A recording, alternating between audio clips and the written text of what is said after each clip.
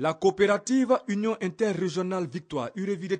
a offert 617 kits scolaires et 200 hectares de semences de riz de la variété Vita 9 à ses coopérateurs. Ce dont, selon son président du conseil d'administration Toussaint Nguessan, vise à aider les parents agriculteurs à scolariser leurs enfants afin de lutter contre le travail de ceux-ci dans les plantations de cacao et amener les parents à s'assurer une sécurité alimentaire à travers la production de riz dans les bas-fonds dont dispose le département. C'est pourquoi Boyi Benoît, inspecteur de l'IEP 1 de Tiassali et Jules Gouessi, préfet de Tiassali, ont encouragé les parents à scolariser leurs enfants et à se tourner vers la production de vivriers afin d'assurer à la Côte d'Ivoire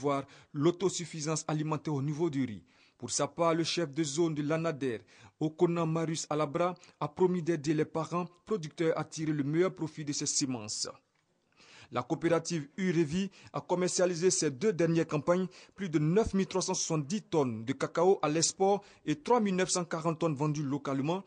et a été récemment promu comme membre du conseil consultatif de l'ICCO au niveau mondial à travers son président du conseil d'administration. Au niveau sur-régional, il est admis comme point focal du réseau des organisations paysannes d'Afrique de l'Ouest et au niveau national comme membre du comité de pilotage du programme national d'investissement agricole pour le compte de la profession agricole représentée par l'ANOPACI dont il est administrateur.